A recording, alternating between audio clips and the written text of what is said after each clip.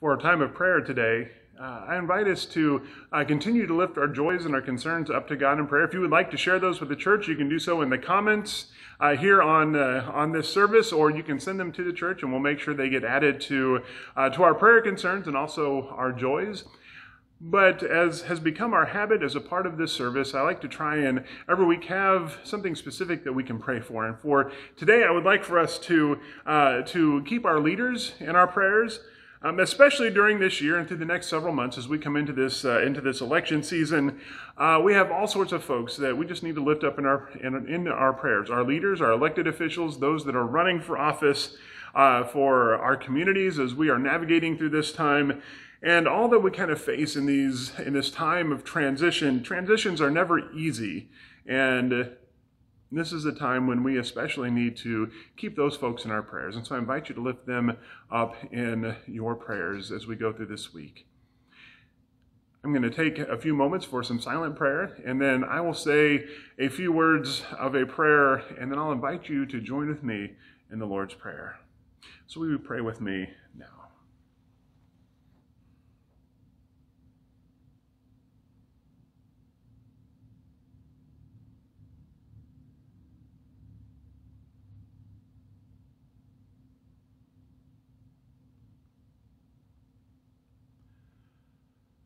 Most loving God, we come today as your children. And we lift up to you our joys and our concerns. We lift up to you this first completed week of school. We lift up to you uh, the work that our kids are doing and that our teachers and administrators and school staff are doing and our parents are doing as we are kind of making our way through this. We give you thanks for the blessings that we have received from you and for the opportunities to use the gifts uh, that you have given to us in ways that help us to not just live our lives, but also to share your grace with others. Today, we lift up to you uh, also our worries and our concerns.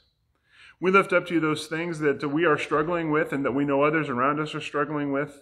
But also today we lift up to you our leaders and those who are running for office and our communities and our nation as we are navigating through such an incredibly tricky time.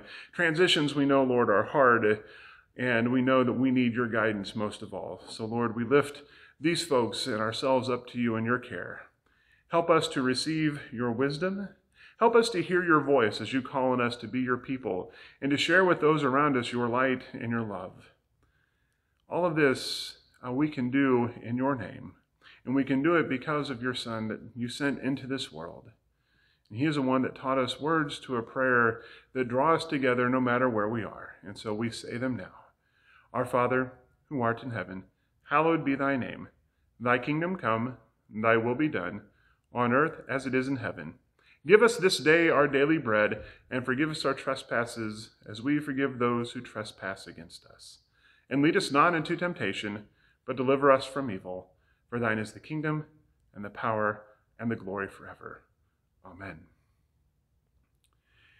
And now we have a special children's message uh, from Mary Beth Switzer, and she even is bringing some very uh, bright friends along with her for this message. So I invite you to take a look at it now.